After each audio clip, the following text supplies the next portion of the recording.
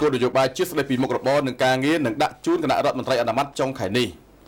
ក្រមការងារនិងគណៈកម្មការអន្តរក្រសួងកាលពីថ្ងៃទី16កក្កដាបានបើកកិច្ចប្រជុំមួយសម្រាប់ពិនិត្យនិងរៀបចំគោលនយោបាយជាតិស្តីពីមុខរបរនិងការងារ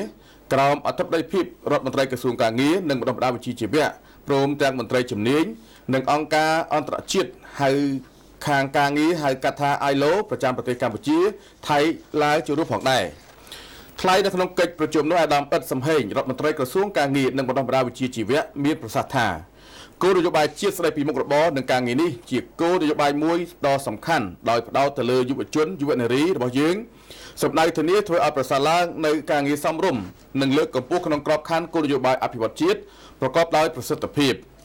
អាដាមបានមានប្រសាសន៍ថាតាមរយៈគោលនយោបាយនេះមានគោលនយោបាយមានគោលបំណងសំខាន់សំខាន់3 គឺផ្ដល់ឱកាសការងារសមរម្យកាន់តែច្រើនសម្រាប់ប្រជាពលរដ្ឋពិសេសយុវជននិងយុវនារីមួយវិញទៀតបង្កើនសមត្ថភាពជំនាញវិជ្ជាជីវៈដល់យុវជនយុវនារីយើងនិងបង្កើនប្រសិទ្ធភាពនៃការគ្រប់គ្រងទីផ្សារការងារដើម្បីដោះស្រាយការងារជួលប្រជាពលរដ្ឋទាំងការរៀបចំមុខរបរក៏ដូចជាឱកាសការងារកាន់តែប្រសើរឡើងថែមទៀតបាទជាមួយគ្នានោះអាដាមរដ្ឋមន្ត្រីក៏បានបង្ហាញពីក្តីសង្ឃឹមថានៅពេល គោលនយោបាយនេះបានចេញទៅប្រព័ន្ធនៃការគ្រប់គ្រងទីផ្សារការងារនិងប្រព័ន្ធទីផ្សារការងារផ្សេងៗនឹងកាន់តែល្អប្រសើរថែមទៀតដែលយុវជនយុវនារីងាយស្រួលក្នុងការស្វែងរកឱកាសការងារលោកអាត់ធុនប្រធានសម្ព័ន្ធសហជីពប្រជាធិបតេយ្យកម្មករកាត់ដេរកម្ពុជា ក៏បានបង្ហាញការគ្រប់គ្រងចំពោះគោលនយោបាយជាតិនេះដោយលើកឡើងថាគោលនយោបាយដ៏មានសារៈសំខាន់ហើយប្រជាពលរដ្ឋកម្មករនយោជិកចង់បានជាយូរមកហើយ